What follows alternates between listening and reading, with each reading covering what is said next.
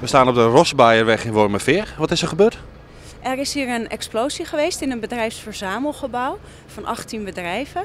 En uh, daarop is de brandweer uh, snel ter plaatse gekomen omdat er een grote uitslaande brand uh, ontstond.